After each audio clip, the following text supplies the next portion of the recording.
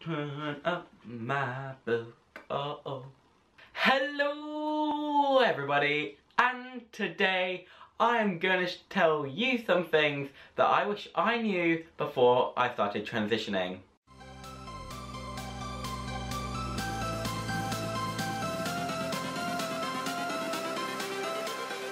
Everything changes. So before I jump straight into the video, I would just like to say a few things.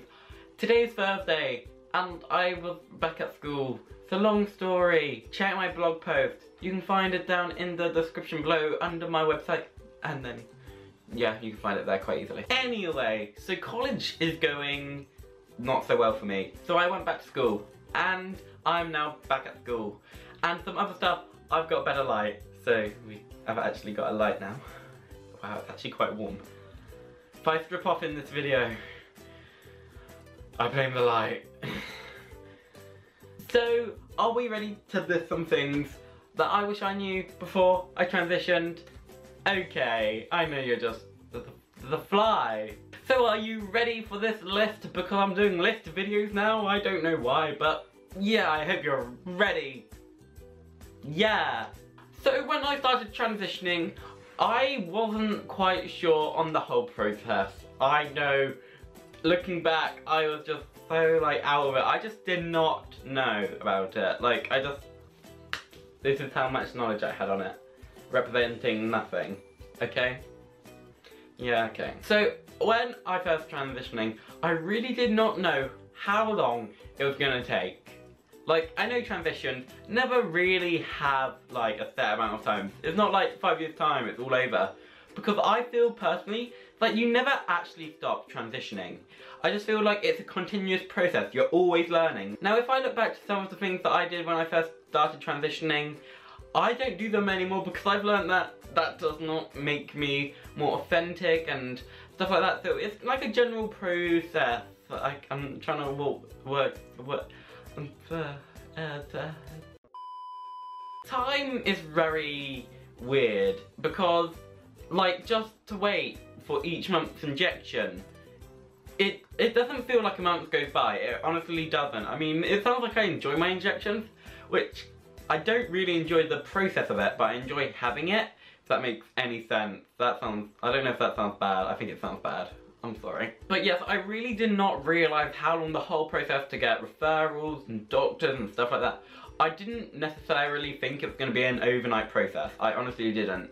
And it's been like, how many years now? One and a half years since I came out as MTF. I just honestly feel like it's so weird. Like, where I am now, I honestly thought I'd be like maybe six months ago or like a year ago. I honestly did not realise I'd be in this position a year and six months after I came out. And on that, I just want to add on a section saying that if people didn't know, non-binary before fully, and I was non-binary for like years. Yeah, that because people comment always like, you've been transitioning for a year and a half. How are you so good at what you do? I, I, I know this topic off by heart, I promise. Like, yeah. Okay. Now, another thing I didn't realise was the amount of people that would reject me. Now, I've got an interesting story of something. When I originally came out as MTF, my granddad was still alive and he was very homophobic and transphobic and everything. And my parent, my parent, and it got to the point where my parents were ready to tell my granddad and my auntie and everyone else knew except for my granddad. And so they were about to tell them, but my granddad decided to make a very homophobic statement. On a different matter, it was nothing to do about me, but they're just saying, oh, gay people should burn in hell. That kind of thing. My parents never actually told my granddad, and a few months later my granddad died. Now, I myself regret not telling my granddad. I don't know if my granddad would have accepted me or not accepted me. I don't know, and I will never know. And because I didn't know how my granddad would have reacted, I went to his funeral in very neutral clothing. I felt that was the best thing I could have done for my granddad. Because I, I honestly don't know what he would have said. And another story was when my mum told a lot of family friends, a lot of my mum's friends left her. Now, it didn't really affect me personally, but it affected my family quite a bit. But my parents stayed with me and stayed strong. And on the topic of being strong, I did not realise how strong I would have become. I can now just be me, and I can face challenges, and I can fend for myself in a way. I can go head on, confident, and I'm I'm internally strong. Like I've got mental strongness. Is that a real term? Probably. Now is. I'm gonna put it in the dictionary. So I've got this mental strength where I'm just so like powerful that I feel like if anyone challenges me, I can fend for myself. And before, I wasn't the most public person. I never was so like, yeah, come at me.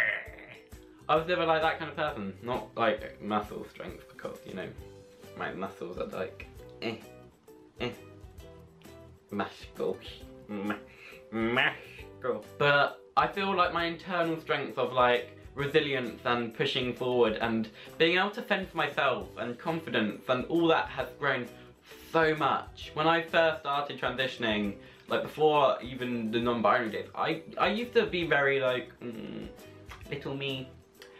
But now I just, I feel confident about what I say. I feel like I'm in a position now where I can help others and make sure there is a change in their lives. And my aim in life is always to help improve the lives of others.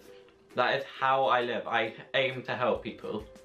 And I feel like right now I'm strong enough, I'm confident enough to help people successfully and efficiently. Another thing I want to cover is about when my parents found out I was MTF. Now, there was a whole like coming out section. It wasn't a big thing because they were already like, well, we already knew this kind of thing. But I didn't realise how accepting and how strong my parents would be as well. My parents were unbelievably accepting. Now, I wasn't expecting them not to be accepting, but there was something inside of me saying, is it time now? Do I need to tell them? And when I did finally come out as MTF, like I said, I think I just said, I am MTF, and they just like, they just knew, and a day later it was all fine. But I kind of didn't know how they were going to react. Like, I knew they were going to be accepting no matter what, but I didn't know how they were going to acknowledge it and react to it. And I think their reaction could have either gone negative and for the worst, to be honest, or how it is now. And I don't see there as a middle. Like for me, there was no middle accepting. It was either, I could see them either denying it and wanting me to just not be here, or accepting how I am today. But I honestly, when I first told them that I was MTF, I did not realise they would be this strong and stand by my side on my journey. And one of the main points of this video is how well known I would have got if I knew back a year and a half ago that I would be this popular and this open and public. Like, I am like out of the world on how much support I've been given. Like, I can't thank you guys and my Instagram followers, Snapchat, Facebook, Twitter, so on. I just can't believe the support I've been getting and it's just amazing how I'm now using my confidence and strength to fight for a cause that needs to be fought for. And I'm so pleased that everyone understands that everyone else is fighting for their rights. And I understand I'm not the only one. I am definitely not the only one fighting. Just to be in such a strong community and to be able to know that one day we will all be accepted and loved and there won't be any hatred is something that I'm passionate about. I'm passionate I'm passionate about making this world so equal that equal is just normal. It's just going to be a bit of every single day and there won't be any difference. And people won't see it as cisgendered or transgendered, they'll just see it as gender. And that is my aim. And on a note of my popularity, I did not realise how many people would just be my friends just because I'm transgender or a public figure. I honestly, I hate it. I hate the fact that people out me in the canteen of college and be like, oh, this person's a famous trans person, look up to them. And they're like, oh my god, let's be best friends. I'm like, no. I pick my friends, you do not pick me, I pick you, okay? and if I pick you, you then pick me, and then it's friends.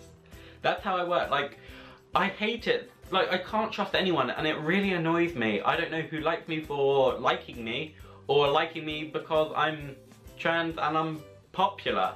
It, it really does bug me about that. And before I go on to the next point, I just want to say about the whole friend section, I am incredibly lonely. All day and all night, I don't really have anyone. Like, I've got my doctor, I've got my parents, I've got my support team, I've got my core support team, I've got everyone surrounding me.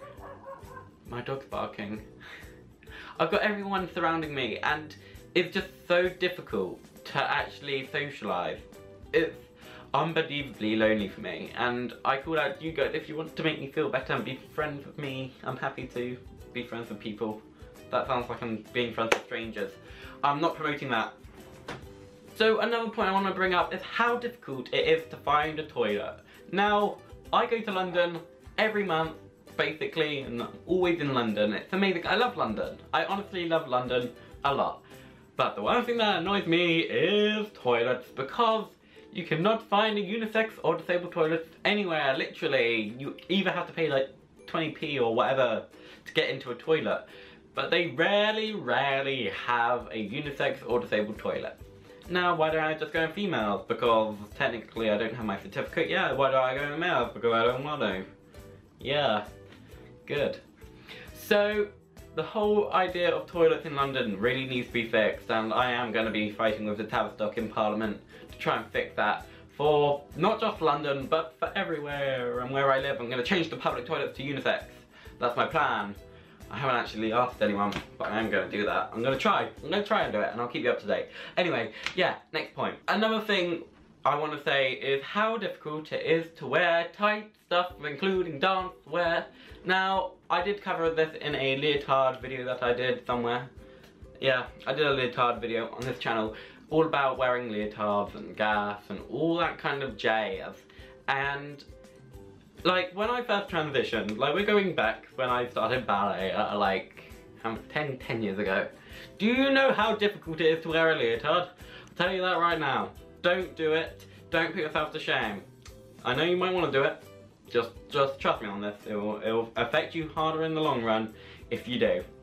If you are MTF or FTM, I would recommend not using tight stuff in public unless you know what you're doing. I honestly, I know that might hurt people's feelings, but if you do not know, it will expose you and a lot of stuff. Hence why I keep it top secret if I've had an operation or not had an operation. Like, no one needs to know that. It's my personal business, you don't need to know, okay? My final point today is how little people knew about terminology. No one knows any terminology. No matter how much I try, my parents always mess up. I did make a series called How to Help Your Transgender Teen by me, I know. And I did study from a book which I have left downstairs, but you can see the videos and you can see the book. My camera's gonna run out of battery soon. Okay, okay, it's back, it's back, we're, we're still alive, I'm still here. I hope you didn't miss me. I'm just going to get comfy. So, I did make a series called How to Help Your Transgender Teen, and that has all a section of tons of videos about terminology. There is one video dedicated to terminology, and I advise everyone to watch that, even if you're not a parent, or just someone who's about to start transitioning, or just anyone. I advise everyone to watch that video.